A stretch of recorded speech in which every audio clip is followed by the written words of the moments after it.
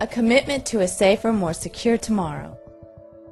That is the mission of the Mixed Oxide Fuel Fabrication Facility, or MOX facility, at the Savannah River site in Aiken, South Carolina. This facility will be instrumental in permanently removing excess weapons grade plutonium from the United States nuclear stockpile.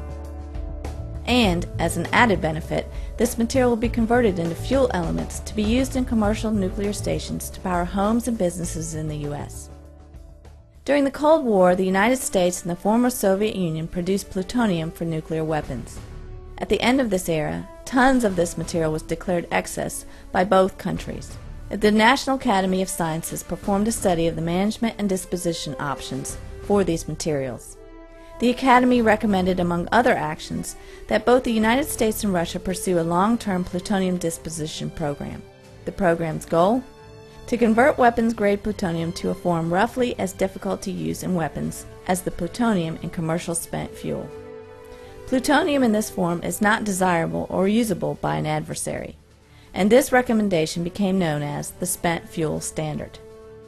In the year 2000, both countries agreed to dispose of 34 metric tons of surplus weapons-grade plutonium each. To implement this program in the United States, MOX technology was selected by the National Nuclear Security Administration, or NNSA, an agency of the Department of Energy. This proven technology has been in use in Europe for more than 20 years and in more than 30 reactors worldwide. The Savannah River site MOX facility is based on Areva's, Melox, and La Hague facilities in France. The MOX facility design has been Americanized to meet U.S. code standards and regulatory requirements. To supply the MOX facility with plutonium oxide, the pit disassembly and conversion facility will take apart plutonium pits, which are a key component of nuclear weapons, and then convert the material into plutonium oxide. The waste solidification building will process waste streams from both the PDCF and MOX facility for final disposition and disposal. In 1999, DOE signed a contract with a consortium, now called Shaw Areva MOX Services LLC, to design, build, operate, and deactivate the MOX facility at SRS.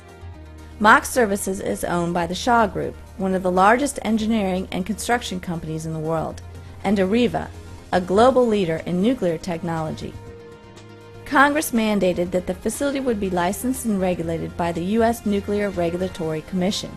The NRC has conducted intense reviews of the MOX design and in March 2005 issued their construction authorization, the first such authorization issued by the NRC in over 20 years. A closer look at MOX facility operations will demonstrate the safe conversion of plutonium into MOX fuel assemblies. The MOX facility consists of two major sections, aqueous polishing, which is a seven-level chemical process, and fuel fabrication, which is a three-level mechanical assembly process. First, the plutonium powder is processed in aqueous polishing to remove impurities such as gallium, americium, and uranium.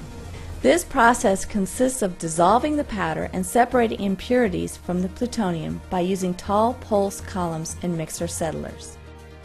This purified plutonium powder is then packaged in cans and stored until it is needed MOX fuel is fabricated just like uranium fuel used in commercial reactors throughout the U.S. However, because of the plutonium content, MOX fuel fabrication occurs in glove boxes, which allows access to the machinery, all while protecting the worker. Fuel fabrication requires very high precision and consists of apportioning, mixing, grinding, and homogenizing batches of uranium and plutonium powders. Plutonium oxide canisters previously prepared in the aqueous polishing portion of the facility are opened and automatically emptied to supply the fuel fabrication line. The equipment using the powders is arranged around a center material distribution artery. The tunnel enables the jars to go from the powder preparation stations to the pellet manufacturing stations. In the powder preparation stations, 20% plutonium oxide powder is mixed with 80% uranium oxide powder. An additional uranium oxide is added until the final percentage of plutonium oxide is about 5%. After the plutonium and uranium powders are mixed, it is pressed into a pellet about the size of a pencil eraser. These pellets are then sintered in a furnace which strengthen it and increase its density. The pellets are ground to within a few microns of their required diameter and sorted by means of a fully automatic system. Then samples of the pellets are checked to verify dimensions, density, markings, and color. Rods are manufactured by arranging the pellets in a long tray and inserting the pellets into a zirconium alloy tube. Each rod contains about 360 pellets. An end plug is then inserted into the open end and the rod is welded shut.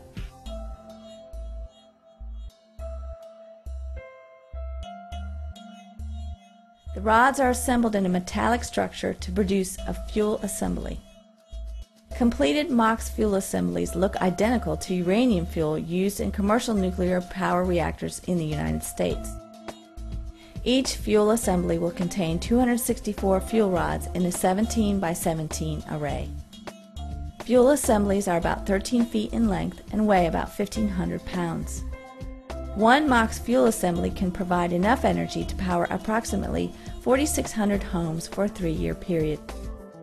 In 2005, four MOX fuel assemblies were made in France with U.S. weapons-grade plutonium and have operated for three years in a U.S. commercial nuclear reactor. The location for the MOX site at SRS was prepared for construction and on the morning of August 1, 2007, construction of the MOX facility was officially started.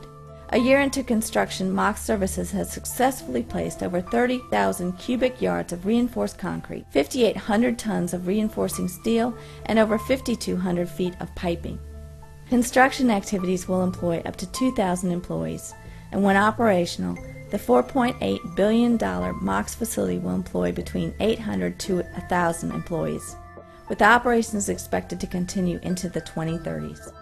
The finished MOX facility will bear some impressive statistics. The approximately 500,000 square foot MOX facility will be equal to that of about 10 football fields. Additionally, the facility will boast 170,000 cubic yards of concrete with 35,000 tons of reinforcing steel and 100 miles of piping. As NNSA continues implementation of the plutonium disposition program, the MOX facility will play a key role in safely and securely removing excess nuclear material from national inventories in accordance with the U.S. international agreements for the disposition of excess weapons grade material. The beneficial reuse of these legacy materials in commercial nuclear reactors will mean less dependence on fossil and foreign sources of energy. Making this world safer for my children and making my country less dependent on foreign sources. The mixed oxide fuel fabrication facility at the Savannah River site, the cornerstone of America's nuclear nonproliferation program.